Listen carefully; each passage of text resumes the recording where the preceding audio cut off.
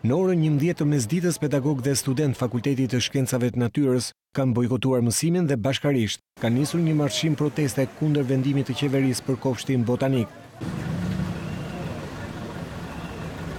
Profesoreshë Mimoza Hafizi u shpreh se po grabitet prona publike, ndërsa pedagogë dhe studentë të tjerë argumentuan rëndësinë jetike që ka Kopshti Botanik në funksion të mësimdhënies dhe kërkimit shkencor. Kjo është një zhbërje e një kontributi të gjatë, është një grabitje e pastër që i bëhet universitetit publik. Para, bashkia duhet na japi argumenta pse e merr, një, jo po kopshti, ka shkurre, natyrisht shkurre kemi ne, ne s'bëjmë raketa kozmike, bëjmë shkurre, bëjmë bimë barishtore, por ama ne bëjmë ato bimë të cilat janë të cilat kanë vlerë për genofondin shqiptar. Ne kemi dhe shumë përvoja të tjera në të cilat është ndërhyrë në kopsht, kopshti nuk është kompensuar në asnjë qindarkë.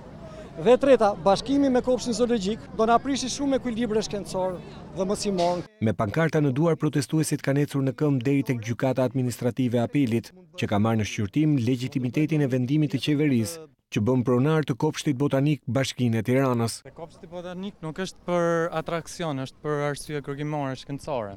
Ne të biologjisë zhvillojmë një muaj praktikë atje. Ne çalon puna te kërkimet tona. Ne duam të mësojmë aty. Policia ka tentuar të largojë protestuesit nga trotuari para gjykatës, por këta të fundit kanë rezistuar duke dëshmuar para kamerave se kishin marrë leje në dy komisariate për protestën.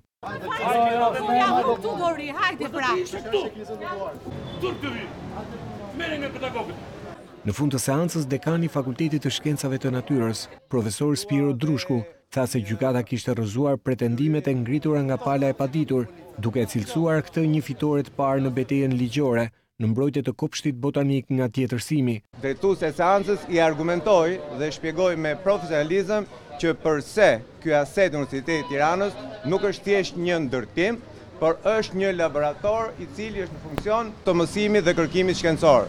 Në këto kushte, bazuar në Ligjin e Arsimit të Lartë, Statutin e Universitetit të Tiranës, pretendimi i ngritur nga pala e paditur U rrëzua nga gjyqtarja e cila nuk e mori në konsideratë. Nga gjykata nuk ka ende një datë për seancën e rradhës, çka sipas palës paditëse, varet nga mosplotësimi i trupës së gjyqtarëve. Gjyqtarja e seancës, për shkak se nuk plotëson numrin pesë të gjyqtarëve që duhet të vendosin në lidhje me legjitimitetin e të zhvilluarit të këtij procesi gjyqësor pranë Gjykatës Administrative, do të propozojë plotësimin e trupit gjykues me pesë anëtarë dhe në këto kushte do të kenë të drejtën për të nominuar që ky është proces që i takon Gjykatës Administrative të Apelit apo Gjykatës së Nivelit të Parë. Por a do të ulen pedagogë dhe studentë në një tryezë me kryeministrin për të qartësuar problematikën?